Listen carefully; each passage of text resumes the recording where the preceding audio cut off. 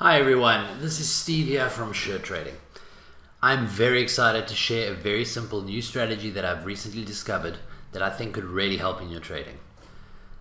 Before we get into it, if you haven't already, please subscribe to our YouTube channel so that you get notified when we have new videos. And we have also just recently launched a free Telegram channel where we share trading content, tips, and ideas. And the link is below in the description. Now that that's out of the way, let's move on to the strategy and how it works. Now for this strategy, we use two indicators. We use the parabolic SAR indicator and the 200 period moving average. So let's quickly start with the SAR. So according to Investopedia, the parabolic SAR is a technical indicator used to determine the price direction of an asset as well as draw attention to when the price direction is changing.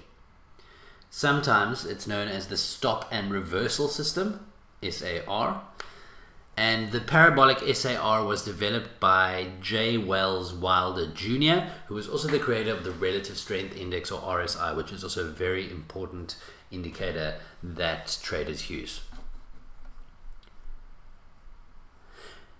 Let's just put the indicator on the chart over here. Let's, um, as you can see, I have a US 500 chart. This is the Velocity Trader platform. Um, so on a chart, the indicator appears as a series of dots placed either above or below the price level. A dot below the price is deemed as a bullish signal so these are deemed as bullish signals. And a dot above the price is deemed as a bearish signal. And the momentum is likely to remain downwards. Now when the dots flip, this indicates that a potential change in direction is underway. So if you have a look over here, we were moving upwards because the dots were below the price.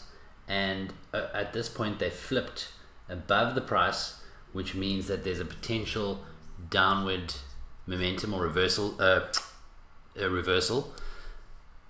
And as you can see, this one worked quite nicely. So in its simplest form, you would use the SAR for entry signals when it crosses either above or below the price chart. So as we just said over here, you would use this as an entry signal when it crosses above and you would enter short. And then again when it crosses below like over here you would then enter into a long position. Now as you can see like most other indicators the SAR works best in a trending market and it can give you a lot of false signals as you can see in this area over here which obviously you want to avoid now that's where the 200 moving average comes in. Now this is just a simple moving average that I'm adding to the chart. The 200 moving average, you can see it here in red. And now we use this 200 moving average to give us a better idea of the trend and to help us avoid false signals. So if the price is above this 200 moving average, then we would consider it an uptrend. As you can see over here, this is the moving average and the price is above it. So that would make this an uptrend. And then when the price breaks below the 200 moving average, like over here, then this would then be considered a downtrend because the price is below the moving average. So when when the price is in a downtrend, we disregard all of the long signals and we only take short signals. And similarly, if the price is in an uptrend, like over here, then we disregard all of the down or short signals and we only take long positions. This helps to um, get rid of a lot of the false signals that the indicator sometimes gives you. Now with this in mind, let's have a look at a few examples. So I think let's start over here where the price turns into a downtrend.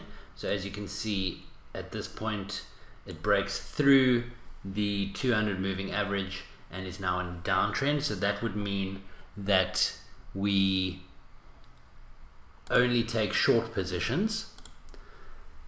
So the first place that we would enter would be when the SAR flips above the price because we're looking only for, for short positions and that would be over here and that would signify this candle over here. So we would enter a short position over there. And as you can see it went all the way down to this level over here and then flipped below. It flipped below the price level um, on this green candle so you could have potentially taken the trade all the way to there for quite a nice profit. Let's just have a look and see what the profit would be. If you're trading one contract on the US 500 you could have potentially made around seven or eight thousand rand on this trade. And then because we're in a downtrend remember we disregard the signals to go long so we wouldn't trade this at all because it um, is at a downtrend. Here it gets a little bit messy but let's just have a look and see what would happen over here. So we would enter on this candle because it flips above. So we'd enter around about there for a short and it wouldn't work out because the price went up. So we make a bit of a loss over there. And then we would enter again over here when the price moves when it moves above the price again. And we would potentially make another loss over here. But as you can see these losses are a lot smaller than the gain we previously made. And there would be another signal over here so it would be around about on this candle somewhere so we'd enter there and we'd go up to there where it flips again. So we make three small losses. Um, let's have a look and see what they would be worth. Um,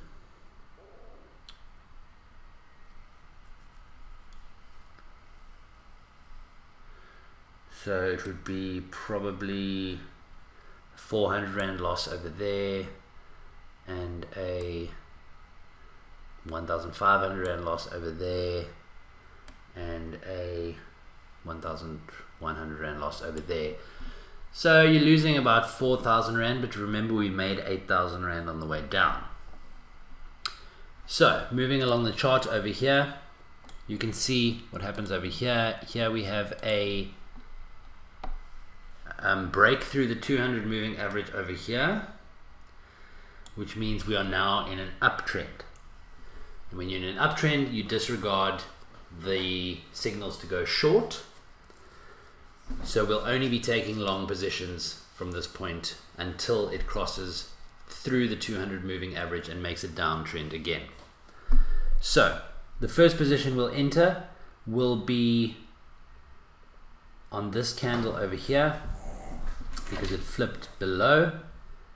So we'll enter around about there. And we'll take this one all the way